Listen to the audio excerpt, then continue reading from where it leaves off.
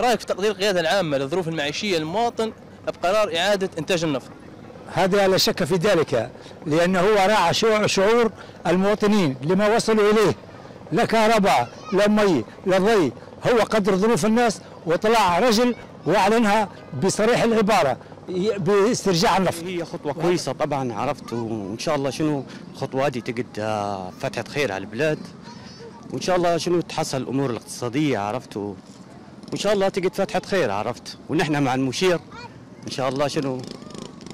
كل يوم في تقدم عرفت؟ ونحن معاه في أي رأي عرفت؟ والله أنا رأي من أي رأي أي مواطن ليبي عرفت كيف؟ واعاده آه، إعادة النفط هذا حاجة ضرورية لكل مواطن ليبي لكن لازم يكون على حسب ال- الأصول التوزيع لجميع المناطق.